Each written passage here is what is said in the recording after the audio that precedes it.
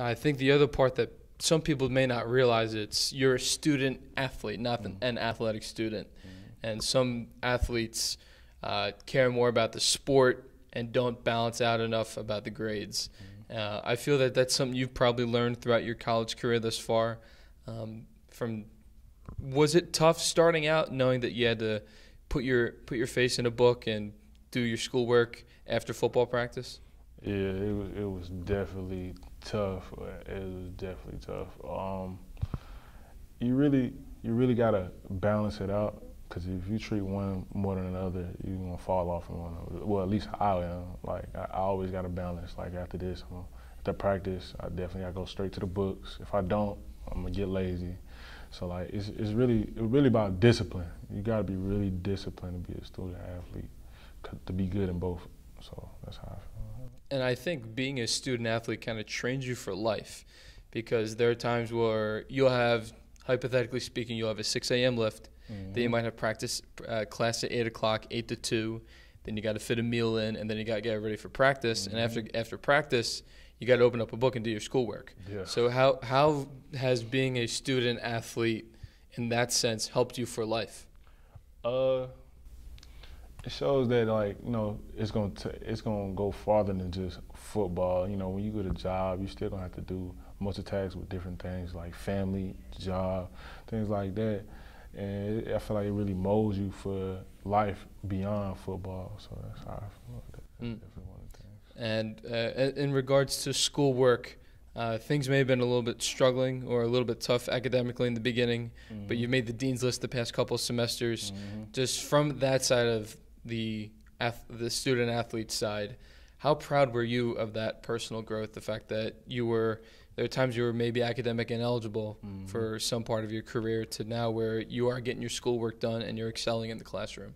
It it made me uh, really proud of myself because I really never thought I could do it until I really focused and honed in on it.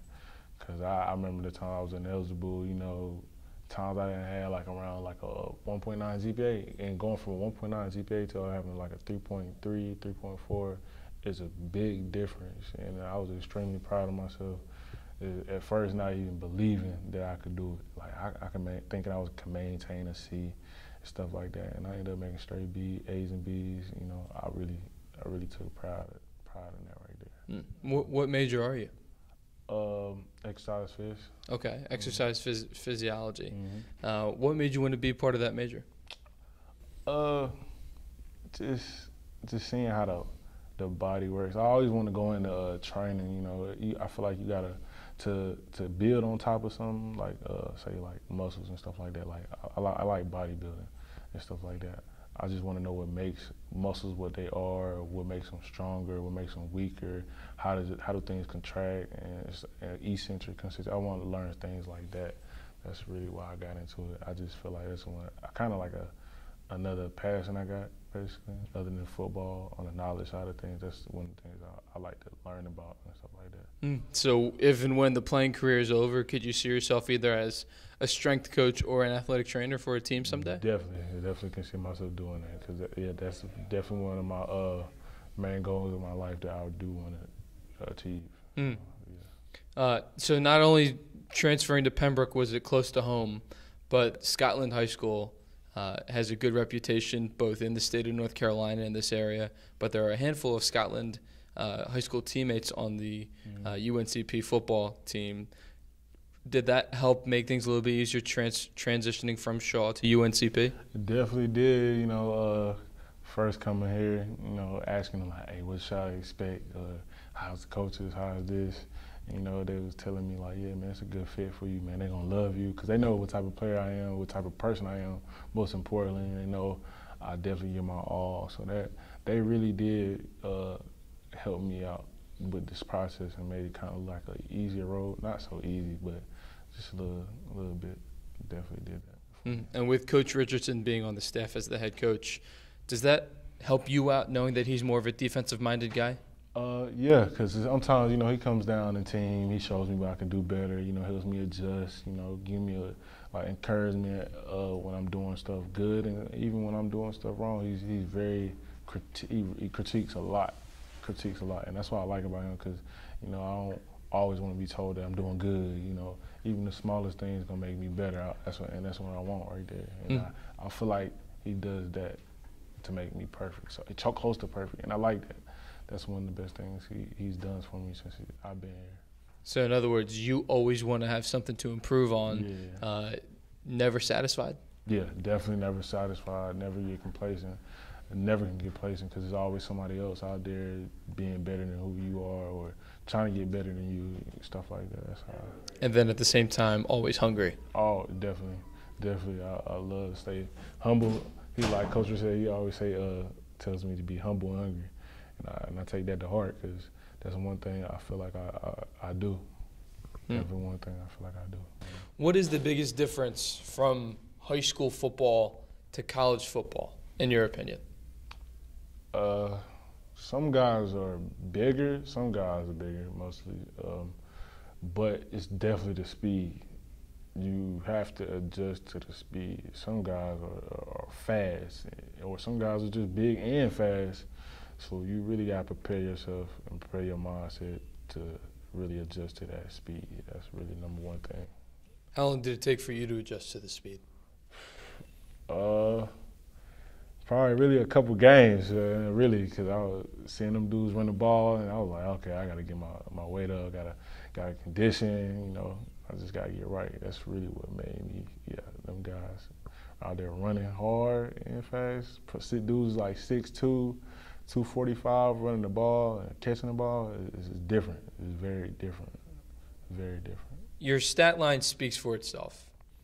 But what when did you know that you were getting into a groove in the UNCP football program where after settling all the schoolwork down, you can just focus on playing football, having fun, and learning at the same time? Because I think sometimes for transfers, it takes a little a little while to adjust. Uh, when did you start to get into a gr- get into a rhythm, get into a groove uh, after trans- transferring from Shaw? Honestly, it probably had to be uh, my second year here, which would be last year. Uh, they put me in a position that uh, to be a starter, so I, I felt like it was a it was an opportunity to uh, get my name out there.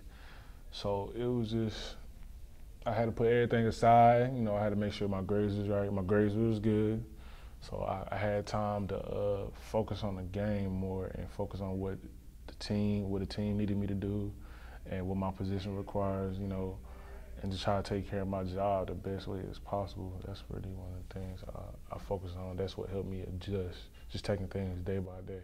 Mm. And I think what allowed you to separate yourself from your junior year to your senior year right now Mm-hmm. was your junior pro day. hmm What did you take away from that experience?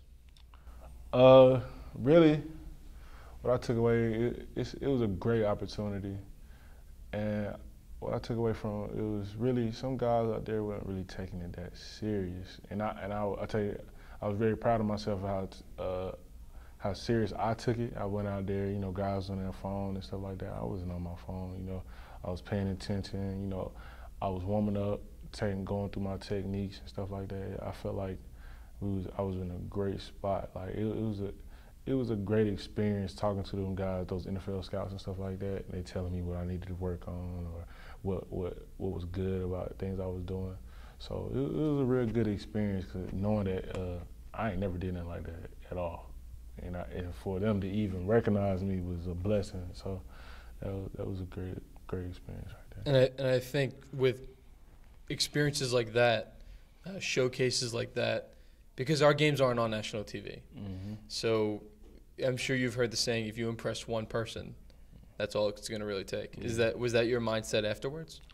Uh, yeah, it, it kind of was. Uh, I didn't really know that it'd start the ball, it'd get the ball rolling like that, but it did. You know, I feel like uh, how I feel. I feel like it's, it's a, a lot of guys out there that's better than me. You know, I feel like I always got to work on some. I, I just got to work on my craft at all times. But it, I didn't really think I would make it this far. You know what I'm saying? But uh, I'm very proud of myself, and, and I'm very blessed for what those guys are uh, doing with me and looking at me and scouting me and stuff like that. I'm, Mm. I'm really blessed for that. Uh, how have been the interviews like so far with these different teams and meeting with these different guys? Because you're going to be asked so many questions, and I'm sure you've heard of uh, the various tests at the draft and things like Yeah. that, the odd questions. Mhm. Um, just, I guess, going through experiences like that, uh, how is that like? it get real repetitive. And a lot of it is the same questions. That's just one. That's the number one thing. I mean, uh, that's how I just look at it. Uh, you know, still a blessing, man. Just gotta keep looking at it like, cause many people don't get this opportunity at all. You know, uh, it's just it's just different. You know, you sitting in front of guys that you don't even know. You gotta tell your life story to every single one of them, every single one of them, and they gonna pick at you. You know, ask you little things like, uh, what's up? How's your family? They know stuff about my family before I can even tell them and stuff. It, it's just real crazy. Like, it, it makes me laugh, man, because I, I never really thought that it's really like that. Like, what you see on TV some of the time, it's mostly true. And that's the crazy thing about it. Mm, but I think at the same time, if you're going to be asked the same questions Mhm. over and over again, in a way, you already have the answers to the yeah, test. Yeah, definitely.